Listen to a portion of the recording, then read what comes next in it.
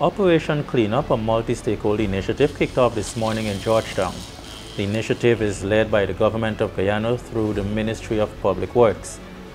President Irfaan Ali himself was on the ground this morning with several senior members of his cabinet and the joint services. There were also members of the private sector and members from the diplomatic community were also on board this morning as the initiative kicked off. Here we present you some snippets of what took place around Georgetown. The responsibility resides with all of us to make the difference and we're starting from the city itself. What you're seeing here is just the tip of the iceberg.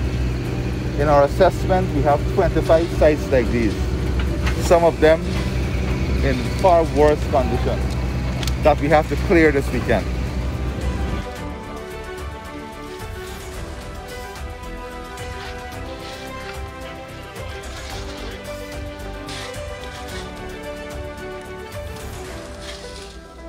One of the beauty about this city is that it is a walking city, which means that you can walk easily around the city and get your business done. But you have to walk in an environment that is safe, in an environment that is clean, in an environment that is conducive, and that is what we'll be creating also.